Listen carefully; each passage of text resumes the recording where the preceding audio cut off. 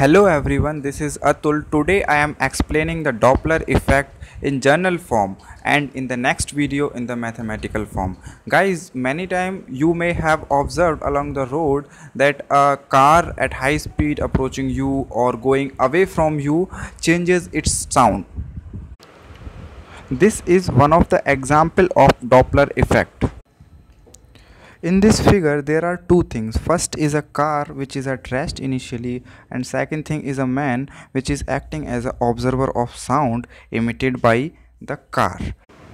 Now friends i will define what doppler effect is.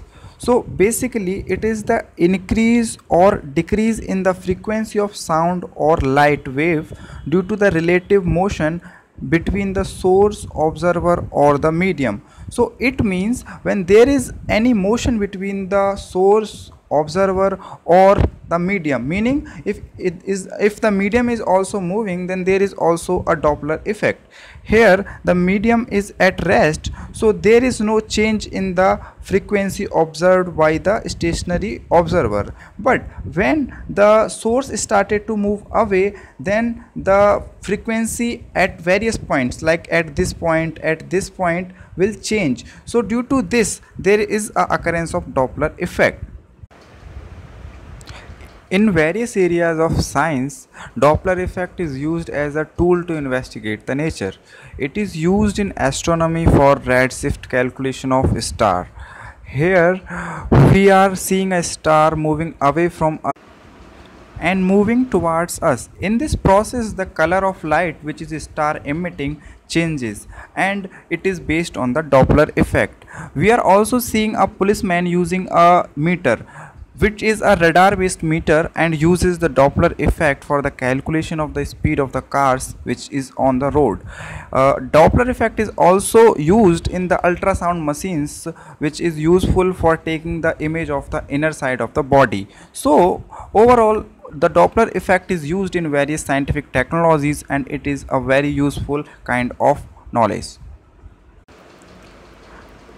as this is a video about the Doppler effect of sound. And as we know sound is a mechanical wave and it depends on the medium for its propagation.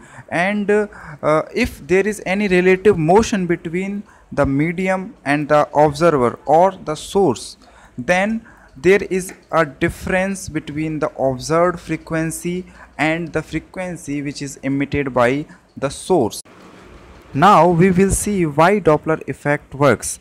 As we know the frequency of a wave is equal to number of oscillations per second.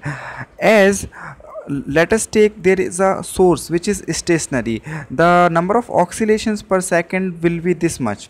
As this source started to move closer to a stationary observer then the number of oscillations per second will increase so in this case the observed frequency will be higher than what is the emitted frequency.